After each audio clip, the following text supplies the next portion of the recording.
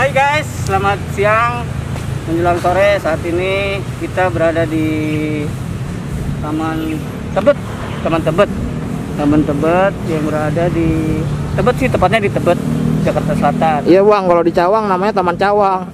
Nah, ini Tebet.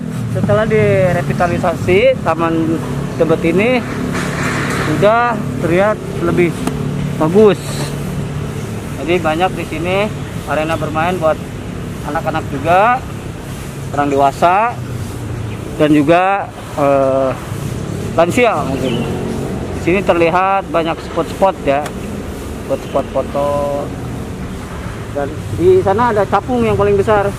Ini cuacanya lebih nyaman untuk keluarga, untuk anak-anak dan lainnya.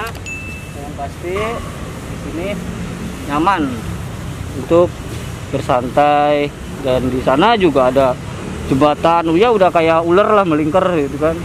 Di atas pagar dong pak.